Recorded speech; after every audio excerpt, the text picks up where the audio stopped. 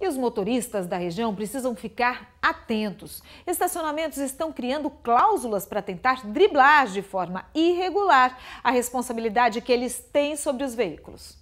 Placas com avisos como esse são bastante encontradas em estacionamentos particulares de shoppings, farmácias e supermercados, por exemplo. Mas é bom ficar de olho, isso está fora da lei.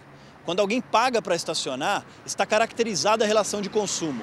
E o estabelecimento é sim responsável por qualquer dano ao veículo. A partir do momento em que o estabelecimento comercial guarda o veículo, ele tem o dever de cautela né, e de preservar aquele veículo.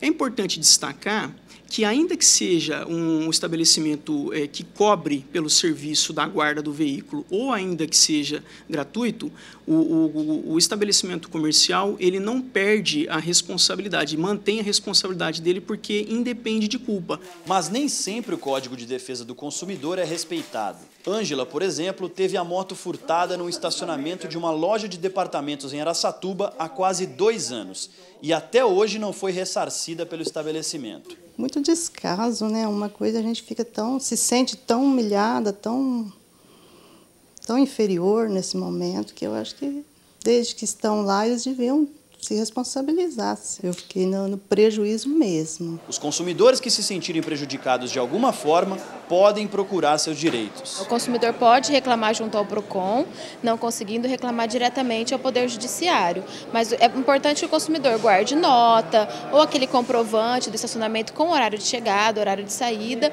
ou até registrar um boletim de ocorrência no caso de sofrer algum dano.